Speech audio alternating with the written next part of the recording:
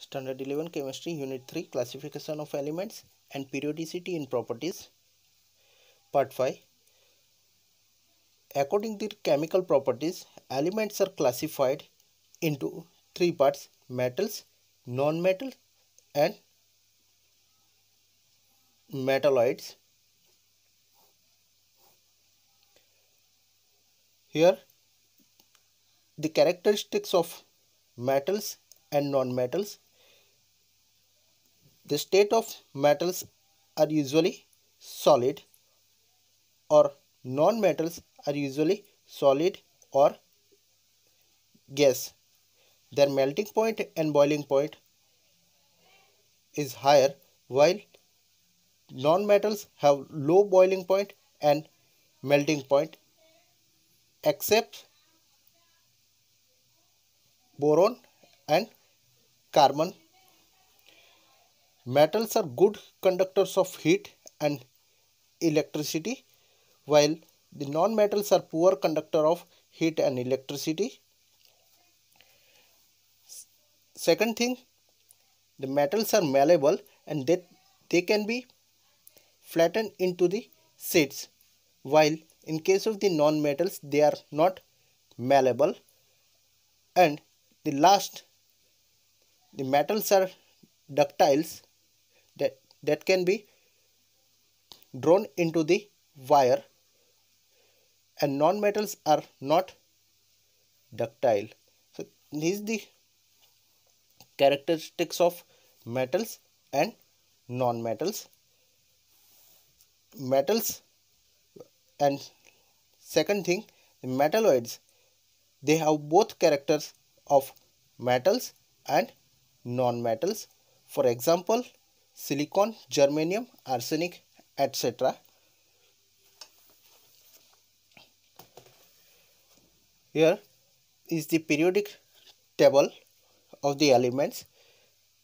The elements are classified according to their electronic configuration in four blocks S, P, D and F block. In a group, as we go down in a group, the metallic characteristics are increases. As we move from left to right in periodic table, the non-metallic characteristics are increases. Here in case of the period, lithium, beryllium, these are the metals and they have metallic characteristics as we move from left to right direction nitrogen oxygen fluorine neon these are non-metals and they have non-metallic characteristics and their states are gaseous states. So they they have non-metallic characteristics. Okay? So this kind of trends as we move from left to right non-metallic characteristics are increases. As we go down in a group metallic characteristics are increases or the reactivity is increases. How can we predict either they are reactive or non-reactive less reactive more reactive or they are metalloids like silicon germanium arsenic antimony, tellurium, polonium, astatine. These all are sem semi-metals or metalloids. So these kind of trends, the repetition of the properties after certain interval is called periodicity. So in simple word, in group, as we move from top to bottom metallic characteristics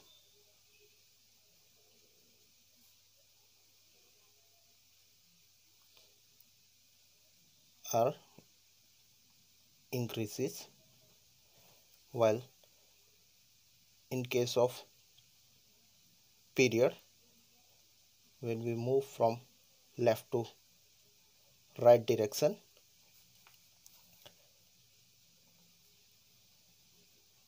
Non-metallic characteristics.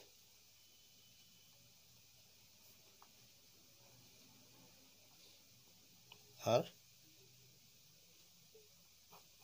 increases. And the periodicity in simple word the repetition of properties.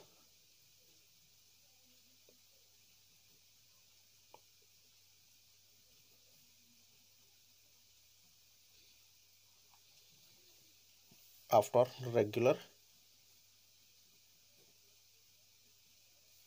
interval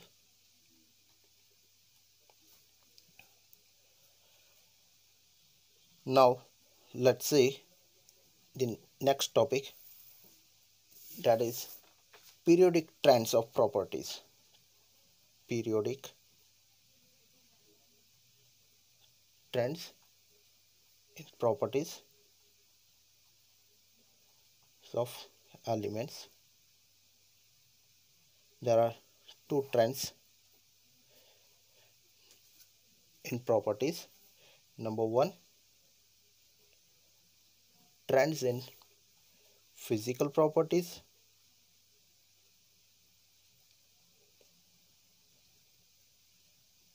And number two trends in chemical properties. The physical properties like melting point boiling point heats of fusion. Heats of fusion that means amount of heat is required to convert solid to liquid. Amount of heat is required to convert solid to liquid state and vaporization or heat of vaporization as liquid releases the same amount of heat when they solidified. That means liquid to solid. So vaporization. Okay. So in case of the liquid these the trends in physical properties like melting point boiling point heats of fusion vaporization or heats of vaporization. And second thing the trends in chemical properties their oxidation states and second thing anomalous behavior or change in behavior of second period.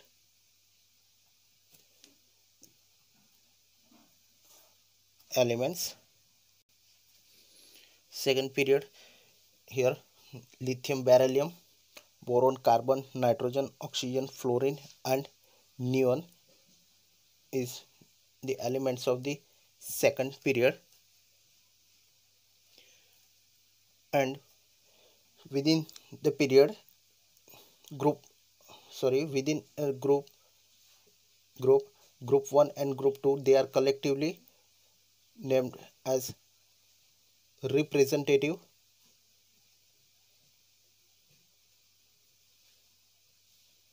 Elements group 1 and group 2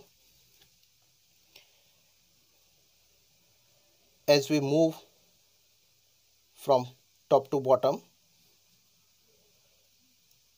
the reactivity of the elements is increases. Lithium sodium potassium rubidium cesium and francium their reactivity their metals and their reactivity are increases.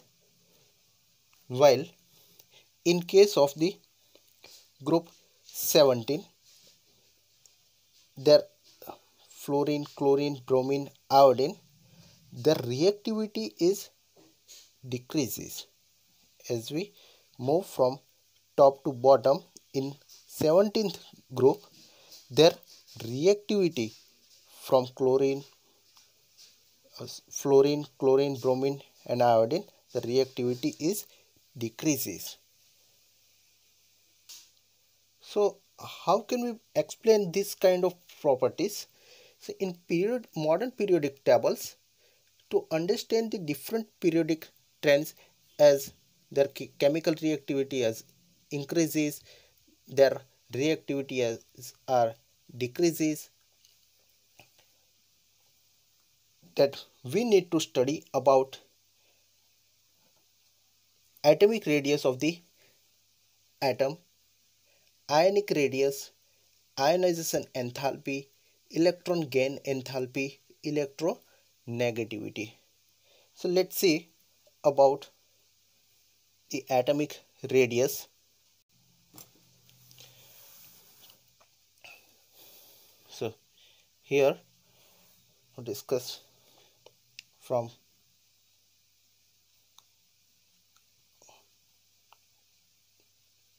top to bottom in group the reactivity is increases.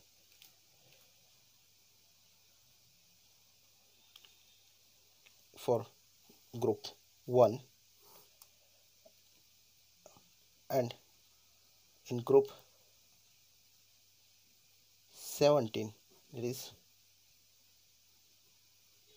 halogen. From chlorine fluorine chlorine bromine iodine. Their reactivity is decreases here.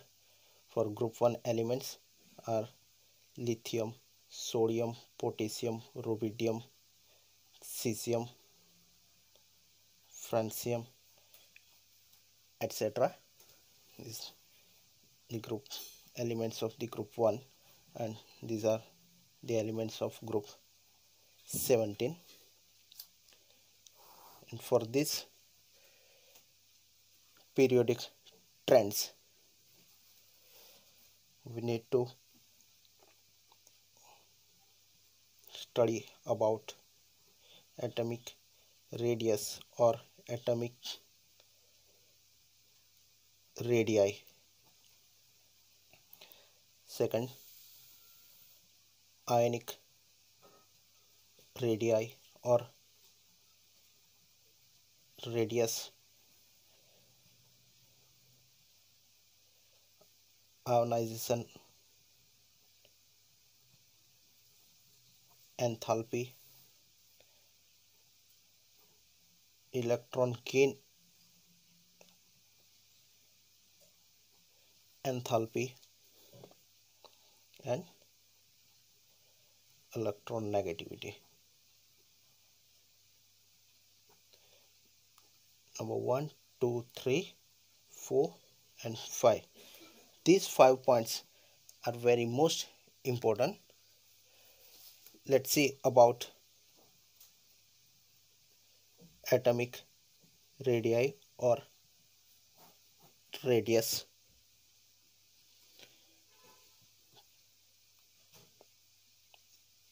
is the nucleus and is the cell. Is the first cell and it is second cell. It is nucleus. So distance from the center distance from the center of the nucleus of the outermost outermost cell of electrons in this distance. For cell 1 it is called atomic radius. Uh, here for cell 2 distance from nucleus to the outermost cell of the electron.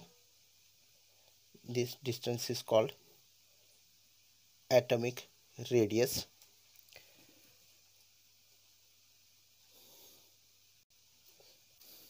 So the definition of atomic radius is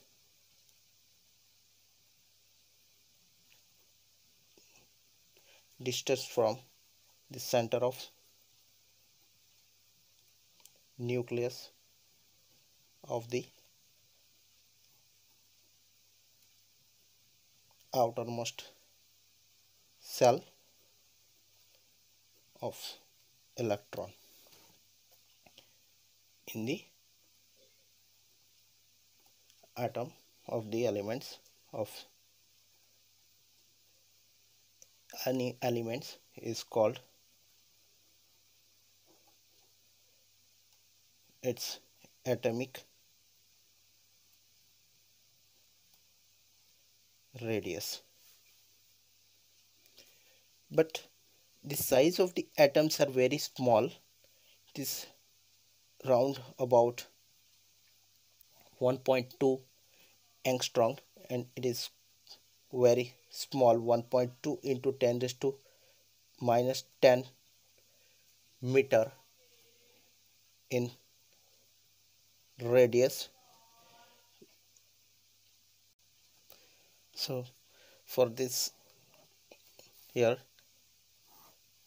the size of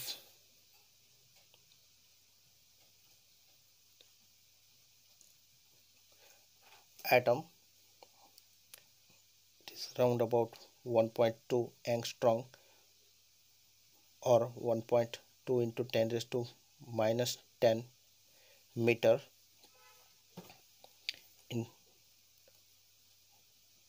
radius. And second thing the electron cloud surrounding electron cloud surrounding the atoms they doesn't have any separate boundary. They have not separate boundary. Either it, it is s p d f or its first cell second cell. They doesn't have separate boundary. So the determination of this atomic size cannot be precise and no practical way by which size of the an individual atoms can be measured. So one practical ap approach to estimate the size of the atom of non-metallic elements, metallic elements and the noble gas for non-metallic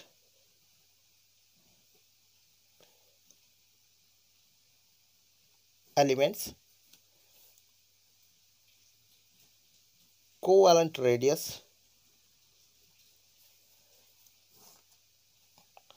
for metallic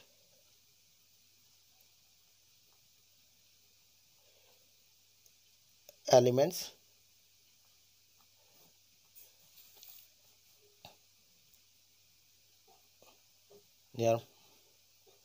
metallic radius and for noble gas or this in group 18 van